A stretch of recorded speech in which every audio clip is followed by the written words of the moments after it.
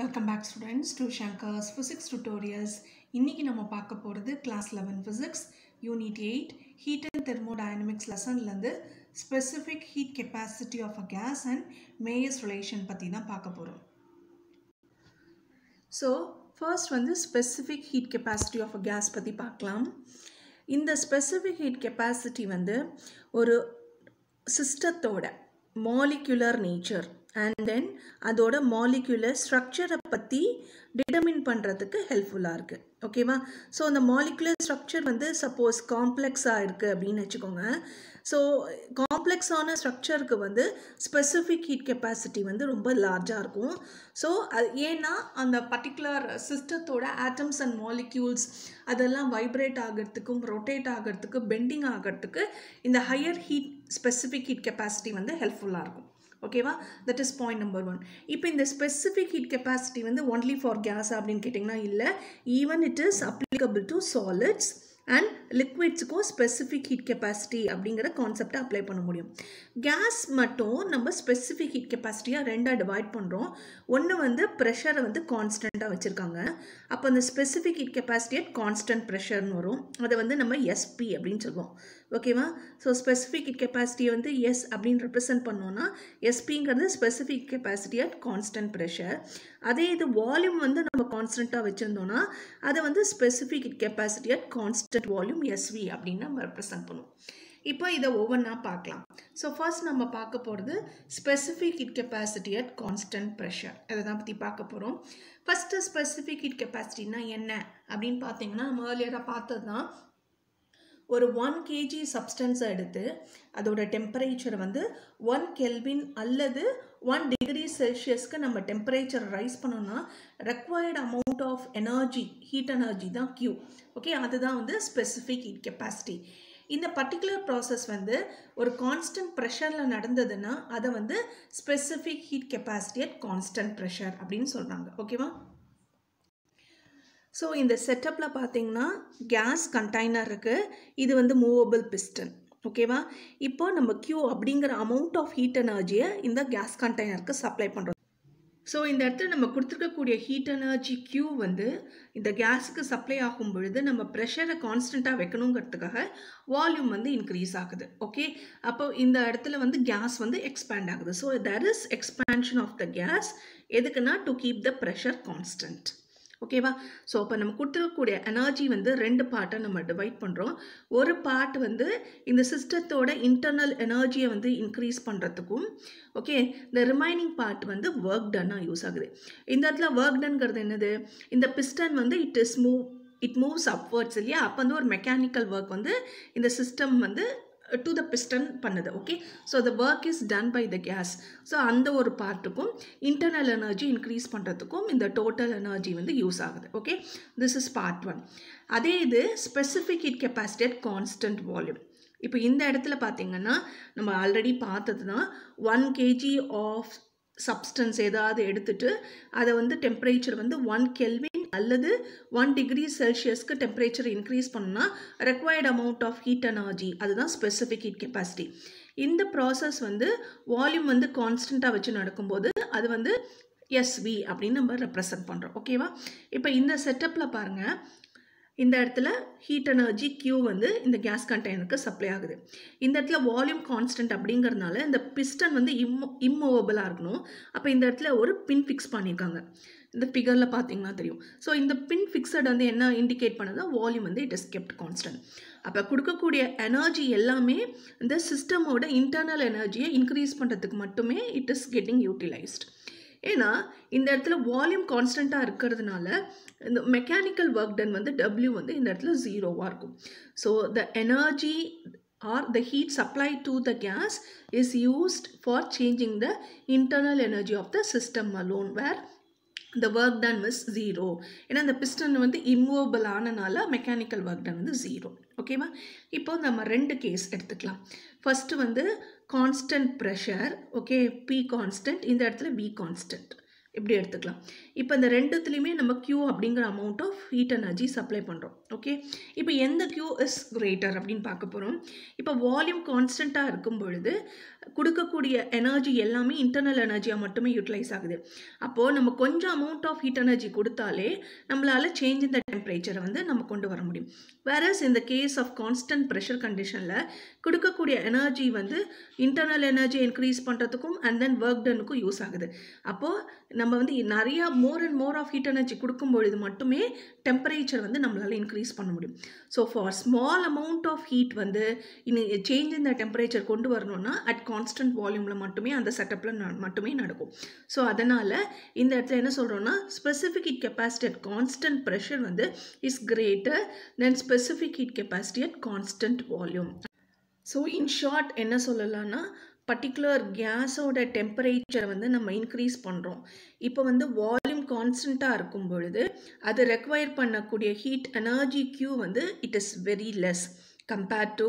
அதே கேஸ் எடுத்துகிட்டு கான்ஸ்டன்ட் ப்ரெஷரில் ஓகே ப்ரெஷர் கான்ஸ்டண்ட்டாக வச்சு நம்ம அந்த டெம்பரேச்சரை இன்க்ரீஸ் பண்ணோன்னா அது ரெக்வயர் பண்ணக்கூடிய ஹீட் எனர்ஜி ஜாஸ்தி. அதுதான் இந்த இடத்துல கொடுத்துருக்கோம். So finally SP is greater then SP that's all okay இப்போ மோலார் ஸ்பெசிஃபிக் ஹீட் கெப்பாசிட்டிஸ்னால் என்ன அப்படிங்கிறத பார்க்க போகிறோம் இப்போது நம்ம ஒன் கேஜி சப்ஸ்டன்ஸ் பார்த்தோம். இப்போ ஒன் மோல் ஆஃப் சப்ஸ்டன்ஸ் எடுத்துகிட்டு அதோட டெம்பரேச்சரை வந்து one kelvin or one degree Celsius வந்து நம்ம இன்க்ரீஸ் பண்ணுறோம் அதுக்கு required amount of heat energy Q தான் specific heat capacity molar specific heat capacity இதே இது அட் கான்ஸ்டன்ட் வால்யூமில் நடந்ததுன்னா அதை வந்து molar specific heat capacity at constant volume pressure கான்ஸ்டண்ட்டாக இருக்கும்போது அது molar specific heat capacity at constant pressure ஓகேவா இப்போது கான்ஸ்டன்ட் வால்யூமில் இருக்கும் பொழுது அதோடைய ஹீட் எனர்ஜி வந்து நம்ம எப்படி எழுதுறது? அதான் இப்போ பார்க்க போகிறோம் ஸோ ஃபர்ஸ்ட் வந்து if the volume is kept constant okay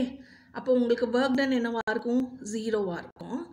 okay அப்போ வந்து total energy okay total energy supply to the gas வந்து க்யூ இஸ் ஈக்குவல் டு உங்களுக்கு uh, mu moles okay specific heat capacity constant volume CV into delta T இதுதான் வந்து உங்களுக்கு heat எனர்ஜியோட equation so this is we say as one but according to first law of thermodynamics first law of thermodynamics எதெல்லாம் relate பண்ணுது? உங்களுக்கு internal energy work done and நம்ம கொடுக்கக்கூடிய energy applied heat energy so q is equal to delta u plus w. இதுதான் உங்களுக்கு first law of thermodynamics இந்த இடத்துல volume கான்ஸ்டண்ட்டாக இருக்கிறதுனால ஒர்க் டன் ஜீரோ ஏன்னா சேஞ்ச் இந்த வால்யூம் டிவி வந்து ஜீரோவாக இருக்கிறதுனால. அப்போது del eh, q is equal to delta U is equal to உங்களுக்கு mu CV into delta T அப்போ நமக்கு தேவை CV so CV is equal to one by U one by mu உங்களுக்கு delta U by delta T This is the equation for molar specific heat capacity at constant volume. இப்போ இந்த change in the temperature வந்து very very less or it tends to zero அப்படிங்கும்போது இந்த equation எப்படி எழுதலாம்னா CV is equal to one by mu du by dt அப்படின்னு எழுதலாம். ஓகேவா இப்போது இந்த molar specific capacity at constant volume and constant ப்ரெஷரை வந்து எப்படி நம்ம அதுக்கு உண்டான ரிலேஷன்ஷிப்பை யூஸிங் மேயர்ஸ் ரிலேஷன் வந்து டிரைவ் பண்ணுறது அதான் பார்க்க போகிறோம் ஓகேவா ஸோ ஃபர்ஸ்ட் நம்ம என்ன கன்சிடர் பண்ணுறோன்னா ஒரு ideal gas okay ideal gas வந்து mu moles of ideal gas consider பண்ணுறோம் அதோட ப்ரெஷர் பி டெம்பரேச்சர் டி அதோட வால்யூம் வந்து வி இப்போது இந்த கேஸை வந்து ஒரு கேஸ் கண்டெய்னரில் வைக்கிறோம். Okay this is the gas இதுதான் பிஸ்டன் இப்போ வந்து ஃபஸ்ட் கண்டிஷன் வந்து constant volume so volume is kept constant நம்ம இதில் வந்து க்யூ அப்படிங்கிற அமௌண்ட் ஆஃப் எனர்ஜி வந்து இந்த கேஸ்க்கு நம்ம சப்ளை பண்ணுறோம் அப்போது there is increase in the temperature by DT so by means of applying heat energy Q temperature வந்து சேஞ்ச் இந்த டெம்பரேச்சர் வந்து டிடியாக இன்க்ரீஸ் ஆகிருக்கு ஓகேவா ஆனால் இந்த இடத்துல வால்யூம் கான்ஸ்டன்ட் அப்படிங்கிறதுனால work done is zero so no work is done by the gas அப்போ சேஞ்ச் இந்த இன்டர்னல் எனர்ஜியும் and then molar specific heat capacity எப்படி ரிலேட் பண்ணோன்னா அதுக்கு முன்னாடியே பார்த்தோம். DU is equal to mu CV into DT this is equation number one இப்போது இதே இது இந்த கேஸை வந்து ப்ரெஷரை கான்ஸ்டண்ட்டாக வைக்கிறோம் அப்போ கான்ஸ்டன்ட் ப்ரெஷரில் வந்து நம்ம க்யூ அப்படிங்கிற அமௌண்ட் ஆஃப் எனர்ஜி வந்து சப்ளை பண்ணுறோம் ப்ரெஷர் இஸ் கான்ஸ்டன்ட் ஹியர் அப்போ நம்ம அப்ளை பண்ணக்கூடிய எனர்ஜி வந்து எப்படிமா யூஸ் ஆகும்? ஒன்று வந்து to change the internal energy இன்னொன்று வந்து work done by the gas ரெண்டு பார்ட்டாக நம்ம செக்ரிகேட் பண்ணுறோம் ஸோ ஃபர்ஸ்ட் வந்து in terms of molar specific heat capacity at constant pressure வந்து க்யூ எப்படி எழுதுறான்னா Q is equal to mu CP into DT ஓகேவா இப்போ work done by the gas என்ன? Work done W is equal to P DV இப்போ first law of thermodynamics படி Q is equal to DU plus W DU நம்ம என்னன்னு கண்டுபிடிச்சிருக்கோம். முன்னாடியே constant வால்யூமில் work done is nothing but PDV Q அப்படி என்னங்கிறது in terms of molar specific capacity at constant pressure கண்டுபிடிச்சிருக்கோம். எல்லாத்தையுமே நம்ம சப்ஷூட் பண்ணுறோம் so what is Q here it is mu CP DT is equal to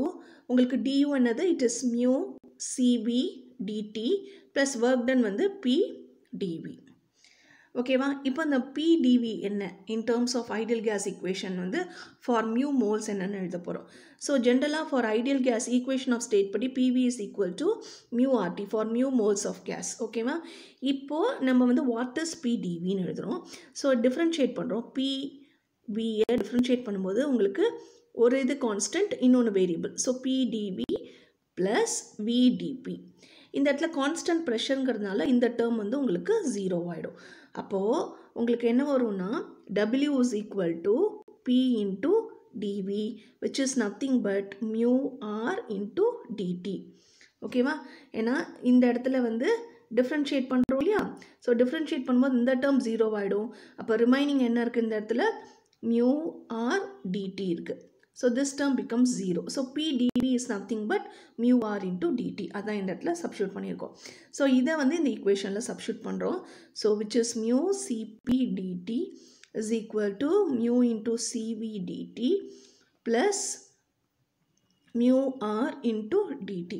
இந்த இடத்துல mu DD எல்லாமே காமனாக இருக்கிறதுனால நம்ம கேன்சல் அவுட் பண்ணோன்னா ரிமைனிங் நமக்கு என்ன கிடைக்கும்னா CP minus CP is equal to R அப்படின்னு கிடைக்கும். இந்த சிபி இந்த சைடு வரும்போது மைனஸ் சிபி ஓகேவா so this is the Mayer's relation இந்த ரிலேஷனில் வந்து நம்ம என்ன பண்ணுறோன்னா molar specific capacity at constant pressure வந்து is greater then molar specific capacity at constant volume அது மட்டும் இல்லாமல் இதோட ரிலேட்டடான ஸ்பெசிஃபிக் கெப்பாசிட்டி அட் கான்ஸ்டன்ட் ப்ரெஷருமே உங்களுக்கு ஸ்பெசிஃபிக் கெப்பாசிட்டி அட் கான்ஸ்டன்ட் வால்யூமோட கிரேட்டராக தான் இருக்குது ஹோப் இந்த வீடியோ உங்களுக்கு ஹெல்ப்ஃபுல்லாக இருக்கும்னு நினைக்கிறேன். இப்போ நம்ம பார்த்தது மேயஸ் ரிலேஷன் இந்த மாதிரி ஃபர்தர் வீடியோஸ் வேணும்னா கீப் வாட்சிங் ஷங்கர்ஸ் ஃபிசிக்ஸ் டுட்டோரியல்ஸ்